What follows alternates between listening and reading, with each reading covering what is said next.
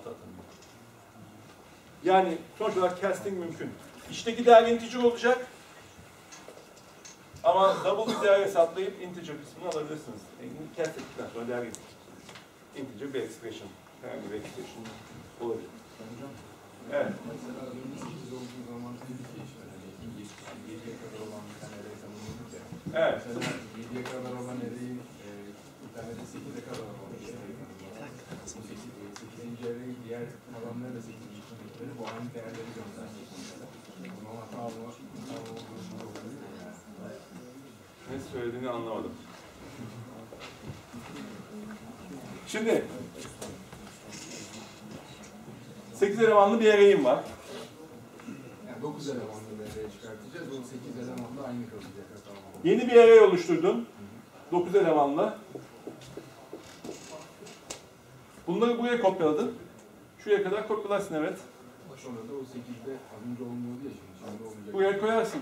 Daha yani bu başka bir array. Yani. Başka memori lokasyonunda. O da burada. Bu burada. E başka bir array tabii ki yapabilirsin. Yani bir başka array tanımlayıp onun eleman sayısı kadar bunun, bunun içinde 0 ile 8 arasında kullanabilirsin indeksleri. Bir başka array tanımla 100 elemanla o da 0 ile 99 arasında kullanabilirsin. Yani değişik array'ler onlar. Array kendi subscript range'i içerisinde kullanacak. Bunlara bakarsınız. Detaylarına girmek istemiyorum. Ee, üzerinden geçersiniz. Ee, şunu görmeden e, bitirmek istemediğim için e, buraya geldim. E, sonuç olarak e, elemanlara teker teker ulaşıyorsanız e, array'lerin her biri, array'in elemanların her biri de e, birer aslında diyelim burada integer. Ben 10 tane integer tanımlamaktan çok daha farklı bir şey elde etmedim. Sadece 10 tane integer'ı yan yana tanımlamaktan kurtuldum. Ama bir şey daha kurtuluyorum. Array'in elemanlarını teker teker proses edeceksem eğer, yani diyelim şu array'in elemanlarının hepsinin toplamını alacaksam, normalde nasıl yapabilirim? x0 artı x1 artı nokta diye bir şey yok. Hepsini yazdığınızı düşünüyorum. x9'u toplayıp bunu sama atayabilirim değil mi? Hepsini yazdım ama buraya. Yazmış olmam lazım. Ben nokta nokta diye geçtim ama nokta nokta diye bir şey yok C'de biliyorsunuz değil mi? Ee, bunu yazıp toplayabilirsiniz tabii ama array'in avantajlarından faydalanmıyorsunuz demektir. Array'in en büyük avantajı bir for döngüsü içerisinde i sıfırdan i küçüktür 10 iken artı artı i ile bu döngü içerisinde array'in elemanlarına ulaşabilirim. Yani eee x i deyip burada ince elemanına ulaşabilirim. Ve bunu sum'ı arttırmak için kullanabilirim. Sum da başlangıçta sıfırsa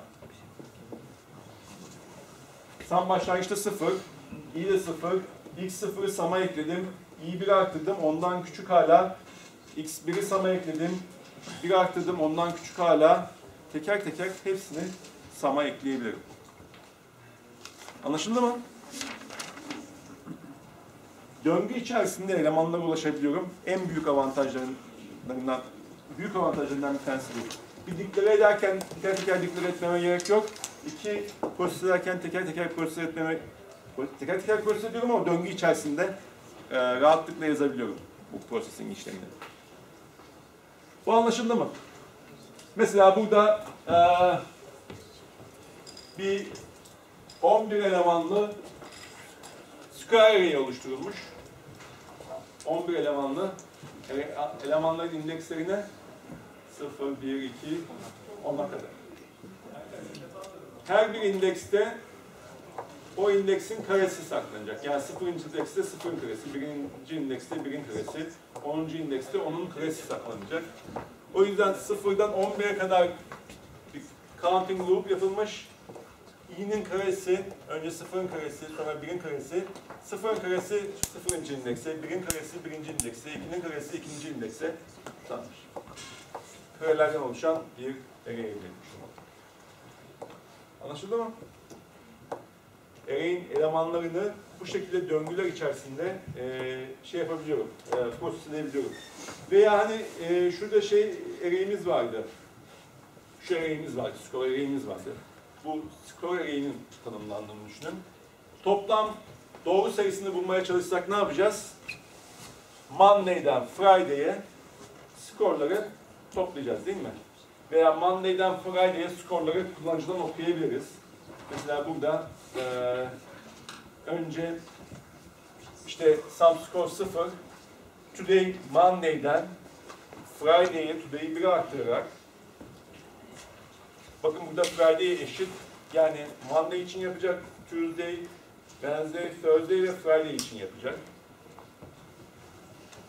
Score today'i kullanıcıdan okumuşuz. Alt parametre. Ondan sonra gene Monday'den Friday'e Score today'i Sum'a eklemişiz. Anlaşılıyor herhalde değil mi? Array'in elemanlarını bu şekilde eee tüm elemanlarını şey yapmak mümkün. Eee proses etmek mümkün. Burada gene eee, bir program var. Eee kullanıcıdan eee değerli okuyor olmamız lazım. Ne diyor? Compute the mean standard deviation of an array of data and display the difference between each value and the mean. Kullanıcıdan aldığımız değerlerin mean'ini, ortalamasını, standart sapmasını hesaplayacağız ve bir tablo halinde e, elemanlar ve standart sapmadan farklarını yazacağız. Tablo şöyle bir tablo oluşacak. İşte kullanıcı 16, 12 vesaire girecek. Şöyle bir tablo oluşturacağız. Bu elemanlar 0. indeks, 1. indeks. Elemanların değerleri ve ortalamadan farkları şeklinde. Ortalamayı da şuraya yazdık. Ortalama 2. İşte ortalamadan Tamam mı? Böyle bir program yazmaya çalışıyoruz. Önce kullanıcıdan değerleri okumamız lazım. İşte e, okuyacağımız değerleri oluşturmak için de max item 8, max item elemanlı bir x seriyi oluşturduk. İşte mean, standard deviation, sum ve square sum için e, değişkenler var. E, i de bizim counter'ımız. Sıfırdan max item'a kadar kullanıcıdan x değerlerini okuyoruz. Evin içerisinde teker teker önce x0'ın içerisinde bir değer okuyoruz sonra x1, x2, max item'a kadar yani x8'e kadar. x8 dahil mi?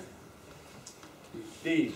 Bakın küçükken max item'dan yani 8'den küçükken en son x7'nin içerisinde değer okuyoruz. Zaten x8 bizim için ayrılan bir yer değil. Çünkü evimiz 8 elemanlı.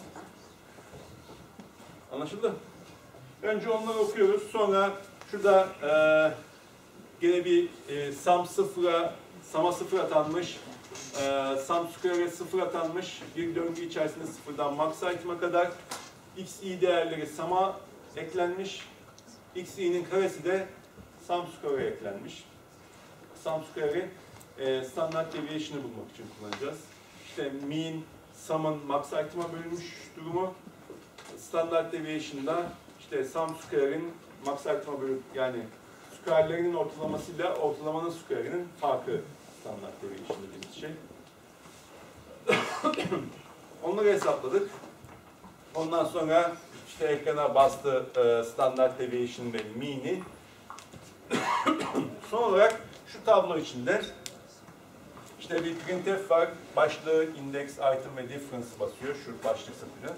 Ondan sonra sıfırdan max item'a kadar belirli bir formatta 3D, 4C, 9.2F, 5C, 9.2F formatında e, önce 3D'de i'yi basıyor. Sonra 4C aslında boşluk bırakmak için şu aradaki boşluğu bırakabilmek için boşluk karakteri. Sonra 9.2F XY'yi şurada 9.2F sonra tekrar boşluk ve 9.2F bu. Ee, formatında x'li eksi mini.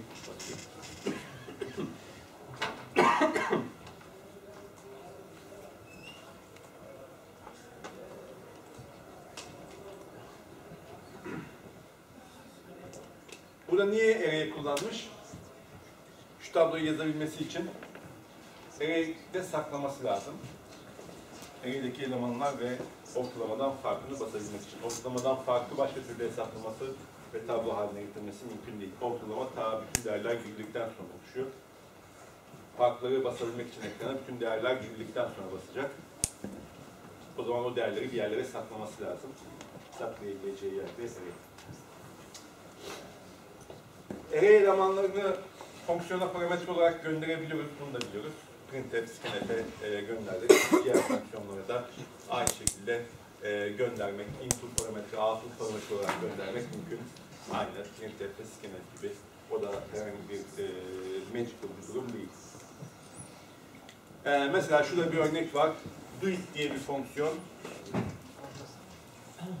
Üç tane argüman alıyor. Bir tanesi input argüman, iki tanesi output argüman.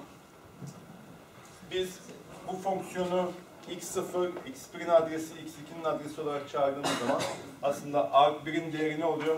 x2'nin değeri, arg2p'nin değeri ne oluyor? x1'in adresi, arg3p'nin değeri de x2'nin adresi oluyor. Yani durum şu şekilde özetlenebilir. Aa, 16 arg1'in içerisine kopyalanıyor. Şunun adresi arg2p'nin içerisinde, şunun adresi de arg3p'nin içerisine kopyalanıyor. Ee, bunu zaten e, fonksiyona parametre geçirme kısmında uzun uzun konuşmuştuk değil mi? Aslında e, çok magical bir e, şey yok. Tüm array'leri de fonksiyonlara parametre olarak geçirmek mümkün. E, ama burada duralım. E, onu da yani. İmzalamayan var mı?